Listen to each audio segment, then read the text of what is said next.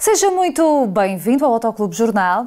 Eh, com o fim do estado de emergência, alguns serviços começam a funcionar na segunda-feira.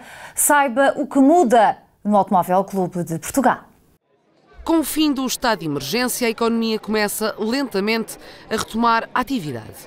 A passagem ao estado de calamidade traz um aliviar suave das medidas de contingência, mas o dever cívico de recolhimento domiciliário permanece assim como o confinamento é obrigatório para pessoas doentes e com vigilância ativa.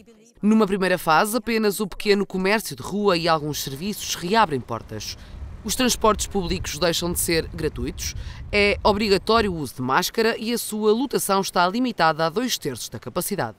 No Automóvel Clube de Portugal, as delegações com menos de 200 metros quadrados reabrem a partir de 4 de maio com rigorosas medidas de segurança. É obrigatório o uso de máscara e a regra é de 5 pessoas por cada 100 metros quadrados.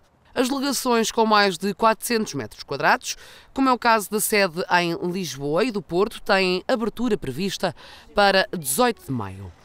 Já as lojas dos centros comerciais podem voltar a funcionar a partir de 1 de junho. A maioria dos serviços do clube continua disponível à distância por telefone ou e-mail a assistência em viagem e as oficinas mantêm o funcionamento normal. O WRC Vodafone Rally de Portugal foi cancelado. A prova do Automóvel Clube de Portugal regressa em maio de 2021. O WRC Vodafone Rally de Portugal foi cancelado devido à pandemia do novo coronavírus mas a incerteza sobre as condições que permitiram levar ao terreno a etapa nacional do Mundial de Rallys ditou o regresso da prova para 2021.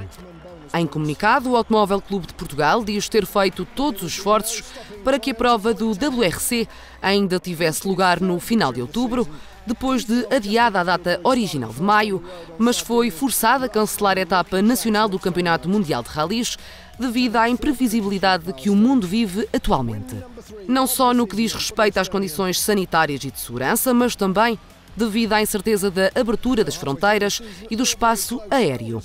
No mesmo documento, o ACP diz lamentar profundamente a decisão, sendo esta a única que poderia assumir de forma responsável perante os milhares de adeptos, equipas, autarquias, patrocinadores e todos os envolvidos na prova. Uma baixa de peso para o desporto automóvel, mas também para a economia nacional. Em 2019, a prova do ACP provocou um impacto superior a 142 milhões de euros. O mercado dos clássicos adaptou-se à pandemia, com os negócios online a assumirem um papel preponderante. Os leilões online são os protagonistas do mercado de automóveis clássicos em tempos de pandemia. As principais leiloeiras do mundo não sentem os constrangimentos de outros setores do mundo automóvel e até veem vantagens no mundo digital. People are very happy to use online um, process to buy cars.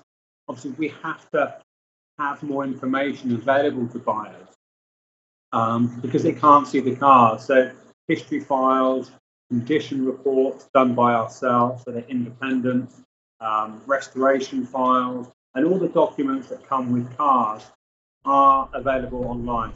Basically, we're, we're adapting, we're using some of the technology that we already had in place, uh, and we're continuing to um, to do business. But as you can see, we're all sitting in our, our living rooms at home on our mobile phones. Uh, and trying our best to, uh, to keep things moving. Em Portugal são as redes sociais que mais ajudam o comércio dos automóveis clássicos. No Facebook muito e no Instagram também.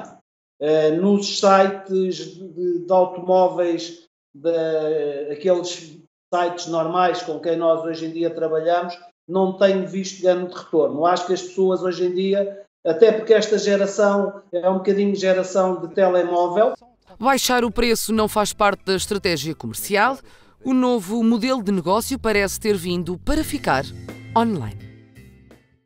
É o fecho deste Autoclube Jornal. Fique connosco com saúde. Até para a semana.